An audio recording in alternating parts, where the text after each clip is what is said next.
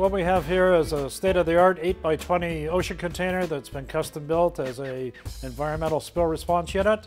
It uh, carries extensive uh, ocean and land-based uh, spill response equipment, along with extensive personal protection equipment for the workers that will use it. This one is destined to a uh, construction project on the coast of northern British Columbia. The uh, a wide door allows uh, multiple workers to be able to uh, start to, to, deploy the equipment there, rather than if it was just the rear opening, uh, only one or two workers would be able to access the equipment at a time. All the equipment is labeled and marked on the shelves and uh, is set on priority that you would use in a uh, spill situation. What's pretty unique about the side opening uh, containers is you have immediate access to everything that's there. On the right hand side here we have uh, Ocean Boom. Those are 50 foot lengths and this container carries a thousand feet of that. Right beside it are uh, grab and go spill kits. Uh, in the event of a small spill, each one of those two uh, kits would be able to handle about 80 liters or 80 or 90 liters each. And then you get into the center on the left of it. Uh, the Spagsorb is there. In the event of a spill onto ocean course, you could open up all four doors and three, four, or five responders could all be pulling that Spagsorb out at the same time rather than just one at a time out of the back. The shelves are all numbered and the uh, units on them are all uh, lettered uh, for inventory control. Uh, the first uh, four you see on shelf two, A, B, C, and D are all personal protection equipment. we need that front and center for the responders' health. And then uh, the shelf 6 and shelf 10 are more into the actual uh, spill response equipment, uh, including uh, hip waders, 24-inch rebar to be able to hold the 510 boom in place. And then on the far left, uh, you'll see the letter H on uh, shelf 12. That's part of the environmental test kit that's put in.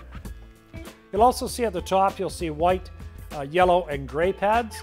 The white pads are hydrophobic only, they will only pick up hydrocarbons. On the back wall, strapped to the back wall, is 13 inch uh, silt fencing. And uh, in the event of uh, disturbance on the shoreline, that can be deployed and uh, would be deployed, uh, of course, in the ocean and would stop any silt or uh, disturbance going out to sea. As well as strapped to the ceiling is 200 feet of, of four and six inch piping in the event that we had to build T-dams in the ditches or the water course, then uh, the 200 feet of piping could be used uh, first for the T-dam and to be able to divert the water. So what we have available from the uh, back smaller door is we do have 18-inch uh, uh, ocean boom. Uh, this particular container carries 1,000 feet in 50-foot sections, and they can be linked together. So in the event of a possible contamination going into the ocean, 1,000 feet could be immediately deployed we also carry uh, board weirs. Uh, so when there's um, a spill going through a culvert, uh, these can be installed right in and be an initial or second line of defense uh, to stop the contamination from flowing. And it carries a uh, 10 by 10 tent uh, that is part of the decon equipment that's used in case a worker does get contaminated for cleanup, along with sprayers and pumps that are there.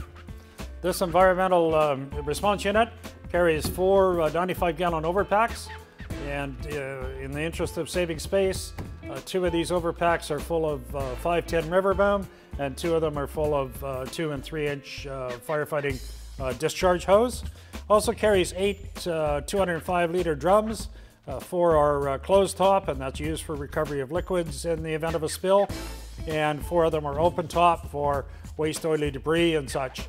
As well, uh, for the uh, storage on the unit, uh, the 45s are full also of uh, 510 river boom uh, used in the event of a spill.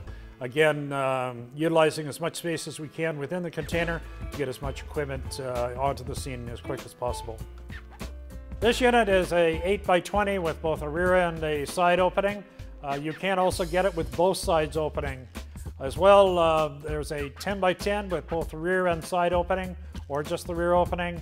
And as well, we make these in 17 foot, 24 foot, and 30 foot tandem axle trailers.